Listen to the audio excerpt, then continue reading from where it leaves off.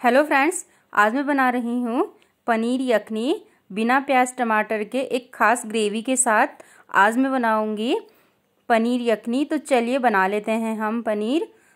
तो इसके लिए मैंने सबसे पहले ये काजू लिए हैं। आठ दस काजू मैंने लिए हैं, जिसे मैंने सोख करके रख लिया था आधा घंटा। और इसमें दो मैं हरी मिर्च डाल रही हूँ। और साथ में इसमें मैं दो चम्मच दही डाल लूँगी। और इसका मैं एक पेस्ट बना लूँगी। अभी मैं बस इसमें दो चम्मच दही डाल रही हूँ ताकि ये अच्छे से पिस जाए।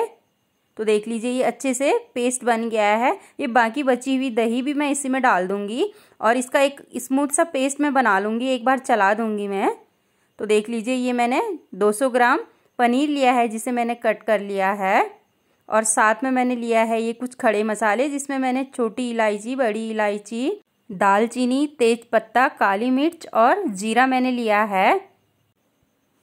एक पैन में मैंने दो चम्मच ऑयल ले लिया है और इसमें मैं ये पनीर डाल रही हूँ। पनीर को हम सेक लेते हैं।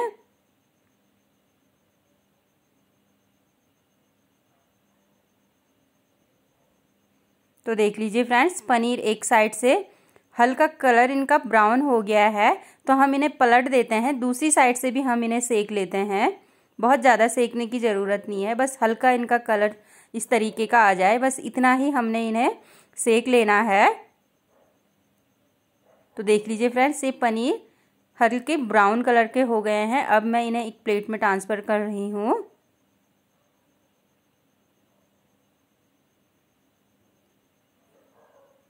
इसी पैन में मैंने दो चम्मच तेल और ले लिया है और इसमें मैं तड़के में डाल रही हूँ ये खड़े मसाले। इन मसालों को चटकने देंगे। और यहीं पर मैं ऐड कर रही हूँ ये काजू और दही का पेस्ट। इसे डालते ही हमें लगातार इसे चलाना है, रुकना नहीं है। अगर हम इसे लगातार चलाएँगे नहीं तो दही फट सकती है तो इसे हमने लगातार चलाना है। तो देख लीजिए फ्रेंड्स मैंने इसे लगातार चलाते हुए कुक किया है। दो मिनट मैंने इसे ऐसे ही लगातार चला करके कुक किया है।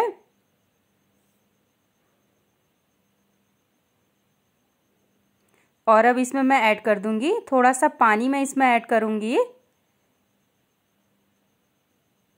और पानी डालने के बाद भी हमें इसे लगातार चलाना है। जब तक इसमें एक बॉईल ना आ जाए, तब तक हमने इसे चलाना है। तो फ्रेंड्स इसमें एक बॉयल आ चुका है। अब मैं कुछ मसाले इसमें ऐड करती हूँ, जिसमें लिया है मैंने ये आधा चम्मच धनिया पाउडर, एक चौथाई चम्मच सौंठ पाउडर और एक चौथाई चम्मच लिया है मैंने इसमें काली मिर्च पाउडर और आधा चम्मच में ले रही हूँ इसमें नमक और आधा चम्मच में ले रही हूँ ये कूटी हुई मिर्च। तो फ्रेंड्स, अगर आपके पास सौंठ पाउडर ना हो तो आप इसमें अदरक का पेस्ट भी डाल सकते हैं। तो इन सभी मसालों को मैं अच्छे से मिला लूँगी और इसको मैं पाँच मिनट में इसे कुक करूँगी। तो फ्रेंड्स ये पनीर यखनी एक ख़ास ग्रेवी के साथ बनाई गई है। दही वाली ग्रेवी मैंने इसकी बनाई है।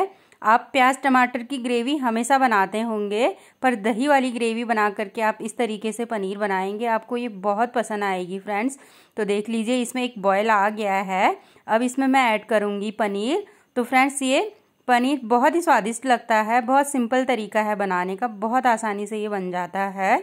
अब यहीं पर मैं डाल रही हूँ ये पनीर, जिसे मैंने सेक करके रख लिया था। तो ये सीखे हुए पनीर भी इसमें बहुत स्वादिष्ट लगते हैं। बहुत अच्छा टेस्ट इसका आता है। तो फ्रेंड्स पनीर डालने के बाद पाँच मिनट में इसे फिर से ढक करके कुक कर लूँगी और ये पनीर बन करके तैयार हो जाएगा। तो फ्रेंड्स इसकी ग्रेवी आपको इसे तुरंत खाना है। तो इसकी ग्रेवी आपको थोड़ी गाढ़ी रखनी चाहिए और अगर आपको इसे थोड़ी देर बाद इसे खाना है तो आप इसकी ग्रेवी थोड़ी पतली रखें, क्योंकि दही वाली ग्रेवी अगर हम थोड़ी रेस्ट पे इसे छोड़ते हैं तो दही वाली ग्रेवी इसकी काफ़ी थिक हो जाती है। तो इसी हिसाब से आप इसमें ग्रेवी रख लीजिए। तो देख लीजिए फ्रेंड्स पाँच मिनट मैंने इसे कुक किया है। पाँच मिनट बाद ये पनीर बन के बिल्कुल तैयार है। सबसे आखिरी में मैं इसमें डाल रही हूँ ये कसूरी मेथी। कसूरी मेथी इसमें काफ़ी अच्छा फ्लेवर देता है। तो देख लीजिए फ्रेंड्स ये पनीर बन के बिल्कुल तैयार है। इसे बनने में ज़्यादा टाइम नहीं लगता है। बहुत जल्दी ये बन जाता है। दस मिनट में ही ये पनीर बन के रेडी हो जाता है। बहुत आसानी से, बहुत टेस्टी पनीर बन करके तैयार हो गया है। तो फ्रेंड्स, इसमें कोई प्याज भी नहीं लगा है, टमाटर भी नहीं लगा है। बिना प्याज, टमाटर के ही इतना स्वादिष्ट पनीर बना करके मैंने तो तैयार कर लिया है। आप भी इसे ट्राई करें। आपको भी ये बहुत पसंद आएगी। पनीर यखनी, ये रेसिपी फ्रेंड्स कश्मीर में बनाई जाती है, खास करके दही की ग्रेवी वाली ये पनीर कश्मीर में बनाया जाता है, जो बहुत स्वादिष्ट लगता है खाने में। तो देख लीजिए फ्रेंड्स, कितना बढ़िया इसका कलर आया हुआ है और दिखने में भी ये बहुत स्वादिष्ट लग रहा है। तो खाने में भी ये स्वादिष्ट ही होगा। तो देख लीजिए, कुछ देर इसे रेस्ट के बाद इसकी ग्रेवी कितनी थिक लग रही है। मैं आपको सर्व करके दिखा रही हूँ कि ये पनीर कितनी स्वादिष्ट बन करके तैयार हुई है। तो फ्रेंड्स, आप भी ऐसे ही इसे ट्राई करें। आपको भी बहुत पसंद आएगी। और जब आप इसे ट्राई करेंगे तो प्लीज़ आप मुझे कमेंट करके ज़रूर बताएँ कि ये पनीर कैसे बनी थी। तो फ्रेंड्स, ये वीडियो आपको अच्छी लगी हो और ये रेसिपी अगर आपको पसंद आई हो तो प्लीज़ आप मुझे लाइक करें, शेयर करें, कमेंट करें और सब्सक्राइब करें। और हाँ बेल आइकन दबाना बिल्कुल भी ना भूलें। अगर आप बेल आइकन दबाते हैं तो मेरी वीडियो की नोटिफिकेशन आप तक पहुँचती हैं। तो मैं मिलती हूँ आपको अपनी अगली वीडियो में, तब तक के लिए बाय बाय